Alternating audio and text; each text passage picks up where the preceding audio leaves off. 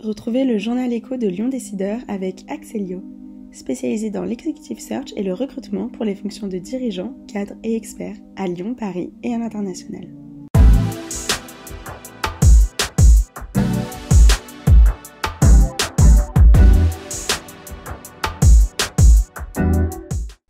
Bonjour et très heureux de vous retrouver dans le journal écho de Lyon Décideur, des business angels tournés vers la santé et favorisant l'émergence d'une nouvelle génération d'entreprises.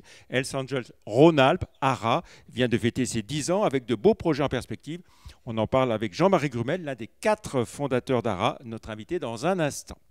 Et tout de suite, quelques infos en bref pour commencer avec EM Lyon qui recrute Guillaume Pépi pour être président de son conseil de surveillance. L'ancien PDG de la SNCF prend ses fonctions au moment où l'arrivée de Galileo Global Education au capital de l'école en remplacement de Qualium Investissement devient effective. Le groupe leader dans l'enseignement supérieur privé, avec 106 campus dans une quinzaine de pays dans le monde, va permettre à EM Lyon d'accélérer son développement, notamment à l'international, tout en capitalisant sur son expertise dans les écoles liées au secteur du digital, entre autres. Premier conseil de surveillance sous l'autorité de Guillaume Pépi le 15 décembre prochain. April, le leader du courtage grossiste en assurance, s'implante en Allemagne autour de son offre à l'international, notamment pour les expatriés. April va dupliquer son savoir-faire outre-Rhin à travers April International GmbH, implanté à Cologne. April, désormais présent dans 17 pays, annonce par ailleurs le déplacement de son siège social de l'Aprilium à la rue Juliette Récamier, toujours dans le quartier de la Pardieu, fin 2024. Le cimentier Vica, basé à l'île d'Abo, affiche une belle croissance d'activité avec, euh, avec, un chiffre d'affaires de 2 milliards 700 millions d'euros, en hausse de 14,6% à fin septembre. Progression dans toutes les zones, plus 8% en France, plus 27,5% aux Amériques, plus 17,6% en Asie. Vika, qui aura investi 400 millions d'euros en 2022, comme annoncé, s'apprête à réduire le rythme de ses investissements en 2023 et 2024 pour cause de forte hausse du coût de l'énergie, qui pèse pour 400 millions d'euros à l'année. AMDG, la société de gestion de Vanessa Rousset, vient de finaliser l'acquisition de 14 immeubles pour 56 millions d'euros. Ces acquisitions se répartissent entre de l'immobilier d'habitation pour 37 millions à Lyon, Villeurbanne, Caluire-et-Cuire et Vincennes et 19 millions dans du tertiaire et de l'industriel à Saint-Priest et Mézieux. Enfin, le chiffre du jour, 82, c'est le nombre de nouveaux experts comptables en Auvergne-Rhône-Alpes qui viennent de prêter serment. Ils sont 32 dans le seul département du Rhône et qui rejoignent les 2500 professionnels du secteur dans la région. Une promotion presque paritaire avec 39 femmes et 43 hommes. Voilà, place à notre invité à présent, euh, Jean-Marie Grumel, bonjour. Bonjour. Merci d'avoir accepté notre invitation. Vous êtes l'un des quatre euh, cofondateurs d'Els Angel Rhône-Alpes, ARA, hein, et vous en êtes aussi le, président, l'association de business angels spécialisée dans l'univers de la santé. Vous venez de fêter il y a quelques semaines, euh, quelques mois, vos, vos 10 ans. Comment est-ce que vous avez vu le jour au départ? Au départ, c'est une idée de Fabrice Paublanc et de Laurent Viviani qui venaient de vendre une société dans le medtech, hein, dans l'apnée du sommeil, et qui s'étaient rendu compte de la difficulté qu'avaient les startups à se financer. Et ils se sont dit, tiens, il y a peut-être quelque chose à faire dans la région, dans le domaine des business angels, dans le domaine de la santé plus spécialement, parce que c'est là qu'il y avait les compétences. Et donc, par le, réseau qui existait déjà, je les ai rencontrés et tout de suite, euh, j'ai adhéré à leur idée. Je faisais déjà du business angel, mais un peu euh, au fil de l'eau. Là, c'était un peu plus structuré. C'est pour ça que ça m'a intéressé. Voilà, alors on a dit quatre à l'origine. Vous, vous avez parlé de Fabrice Paublanc. Euh, il y, avait Elisabeth Delanou, la quatrième, qui, euh, qui, nous a rejoint dès le départ aussi. De, de CERF, voilà, pendant, pendant de longues années. alors, si on essaie de voir un peu quelle est la, philosophie hein, de, cette structure, de cette association la, philosophie, c'est d'être dans le domaine, bien sûr, de, la santé. Hein, euh. Alors, la philosophie est très simple, c'est d'être dans le domaine de la santé parce que, bon, euh, on a une quarantaine de membres et plus de 90% viennent de l'industrie pharmaceutique, du vaccin, du, du medtech. Euh, on a un ou deux médecins, donc on a un réseau de compétences très important pour, pour les startups de la, de la santé.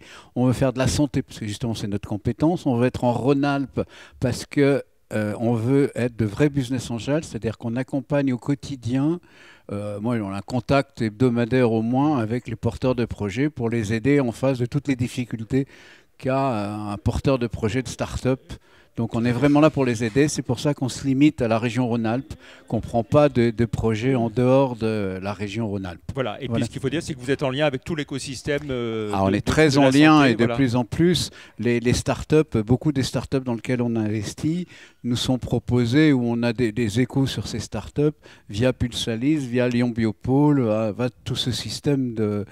Euh, la, BPI de temps en temps. Voilà. Donc c'est vraiment, on est complètement inclus dans le système. Alors pour bien comprendre, vos, finances, hein, l'argent que vous investissez, c'est vos finances personnelles euh, ou est-ce que vous travaillez aussi avec des, fonds spécialisés Ah non, non, non. Là, euh, euh, nous, on fait de ce qu'on appelle du seed capital, donc vraiment des, sociétés qui sont en early stage. Donc c'est vraiment notre argent. c'est dans les étapes suivantes qu'éventuellement des, des, fonds, des banques ou autres vont entrer. Mais au tout départ, c'est uniquement de l'argent personnel. Alors c'est une des caractéristiques de HARA, c'est que chacun investit à titre individuel on présente le projet aux membres et chaque membre décide à titre individuel s'il a envie d'investir ou pas dans ce projet. Il n'a absolument aucune obligation d'investir sur les sociétés qu'on lui propose, et, mais c'est vraiment lui qui décide. Et ça, c'est une des choses qui m'a plu parce que c'était un des critères créés au, dès le départ, et c'est ça qui m'intéresse. Autrement, on va dans une banque hein, si on veut. Alors l'ensemble des, fonds apportés hein, par euh, par, euh, individuellement par, par, toutes ces personnes, c'est quoi 3,5 millions et demi d'euros à peu près euh? Bon, On a fait un peu plus, oui, entre, entre 3 millions et demi et 4 millions de, ont été investis dans les 13 sociétés dans lesquelles on a investi jusqu'à présent. La 14e va arriver avant la fin de l'année. Alors on en reparlera peut-être tout à l'heure. Alors si on essaie de voir justement votre philosophie d'investissement, hein, c'est tout ce qui tourne autour des technologies, on va dire, de rupture, qui concerne l'innovation dans, dans, le domaine de, la santé? Il y, a vraiment, c'est vraiment, oui, il faut qu'il y, ait une innovation il faut qu'il y ait euh, des brevets, il faut qu'il y ait de la, propriété industrielle. On a proposé à nos membres une ou deux fois des sociétés un peu de type e-santé, euh, avec des algorithmes où il n'y a pas vraiment une propriété intellectuelle, où il n'y a pas les, barrières à l'entrée sont pas si faciles que ça à, délimiter. Et là, j'avoue que bon, on n'a pas eu, euh, les, membres n'ont pas réagi de façon positive. Hmm. Donc, les derniers investissements qu'on a fait, c'est vraiment les, les, deux, trois derniers, c'est une, vraiment de la technologie de Ruspur en, en anticancéreux. C'est ce qu'on va aussi faire euh, euh, dans l'investissement de fin décembre, là, donc euh, de l'anticancéreux en liaison avec le Centre Léon Bérard, bien entendu, un, un investissement en neurologie pareil, euh, très très avec la pointe euh, des hôpitaux neurologiques de Lyon, et un investissement alors en, rupture technologique industrielle dans une société qui fait de la lyophilisation avec un nouveau système complètement révolutionnaire de lyophilisation. Alors vous avez investi dans, 13 entreprises. Hein. Euh, est-ce qu'on peut parler d'un ticket moyen qui a été investi Le ticket moyen est autour de 300-350 000 euros pour l'ensemble de l'association, la, de bien entendu. Hein. Euh, chaque membre mettant entre 10 et 20 000 euros, certains mettant plus en fonction de leur finances. On est vraiment en, amont sur, euh, sur de l'amorçage. Ah, euh. ah, oui, oui. Bah là, les deux dernières sociétés, on a commencé à, investir ou presque à investir. La société n'était pas encore créée. Mm. Alors, il y a un engagement financier de votre part, évidemment, mais pas que. Hein. c'est aussi un accompagnement, vous dites, je vous cite, hein, exigeant, bienveillant et, pragmatique. Ah oui, oui, tout à fait. Bah, il faut être bienveillant, hein, parce qu'il faut bien se rendre compte qu'un métier de patron d'une start-up, c'est un métier de fou. Hmm. Parce qu'il faut, faut, tout faire à la fois. Bon, moi, j'ai créé plusieurs structures moi-même, mais pas en start-up. Euh, c'est beaucoup plus difficile une start-up parce que vous êtes en permanence en recherche du financement, de développer votre société, de recruter des collaborateurs. C'est vraiment un des métiers très, très difficiles qui existent. Il faut vraiment avoir l'idée euh, chevillée pour y arriver. vous avez parlé de votre hyper spécialisation, de votre ancrage régional. Hein, en, Rhône-Alpes, euh, vous n'avez pas ajouté l'Auvergne. Hein, c'est vraiment. Euh, bah, alors théoriquement, on, on, est censé avoir ajouté l'Auvergne. Bon, jusqu'à présent, et c'est pas une volonté de notre part, on n'a pas eu de projets qui nous ont intéressés qui venaient d'Auvergne. Mais hmm. Mais c'est pas un choix définitif. Quand je quand je reçois, je reçois beaucoup de projets, euh, notamment par par email, par internet. Quand je vois un projet Lille, projet Nice ou bon hier j'étais à une réunion au CIC, il y avait deux projets qui venaient de Nice qui étaient très intéressants, mais je n'ai même pas cherché à aller plus loin. Donc là le Clermont-Ferrand, c'est le fait qu'il n'y a pas eu de projet. Alors, il y en aura peut-être, parce qu'il y a dans, peu de temps, Lyon Biopôle organise quelque chose. Hmm. Donc, hyper spécialisation, ancrage régional. Euh, et puis, vous travaillez aussi en, lien avec euh, Lyon, Lyon Métropole Angels. Euh, on, on, fait partie de, l'association Lyon Métropole Angels et on se réunit. Alors, le gros avantage, c'est que maintenant. Vous êtes au total une demi-douzaine hein, de. oui, à peu près. Oui, il y a une demi-douzaine d'associations de business angels sur la région qui sont regroupées dans Lyon Métropole Angels. Alors, le gros avantage, c'est que maintenant, quand ils reçoivent, quel que ce soit euh, INSA Angèle, LM Angèle ou n'importe quoi, quand ils reçoivent un projet santé, ils nous le passent systématiquement en disant on sait où sont les compétences, nous on ne sait pas, donc euh, ils nous passent le dossier et après bon, on peut le traiter à deux, ça, ne les exclut pas du projet, mais on continue. Quoi. Oui. Alors on a, on a dit hein, une 13 entreprises dans lesquelles vous avez investi, qui représentent combien de, combien de salariés au total aujourd'hui?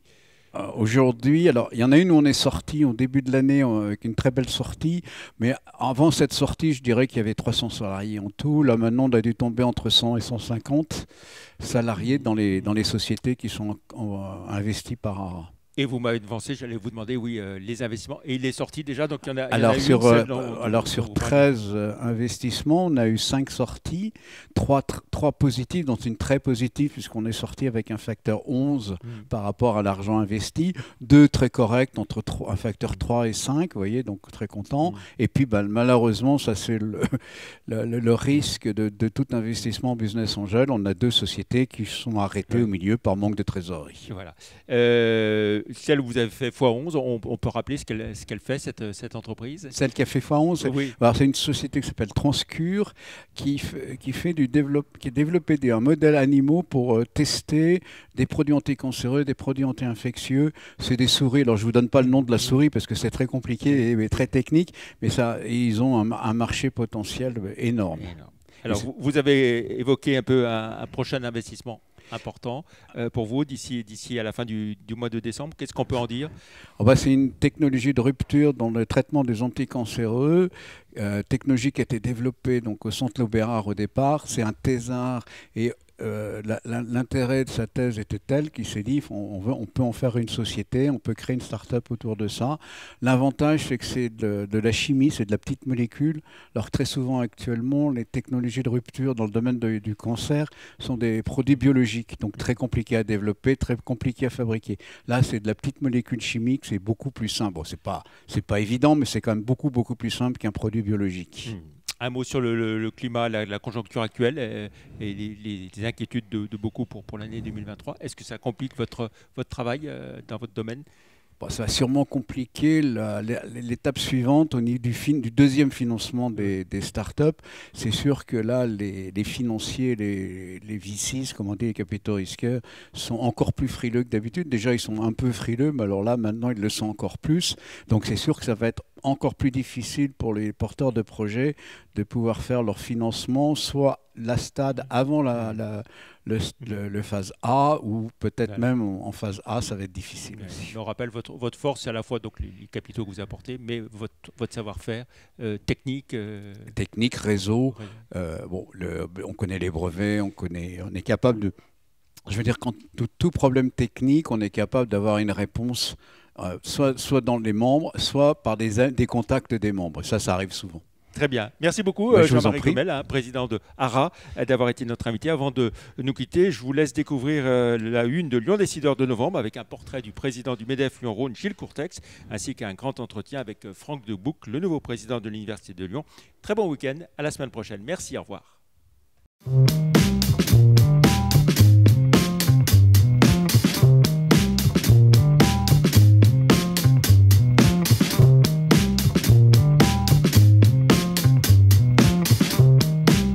C'était le journal écho de Lyon Décideur avec Axelio, spécialisé dans l'executive search et le recrutement pour les fonctions de dirigeants, cadres et experts à Lyon, Paris et à l'international.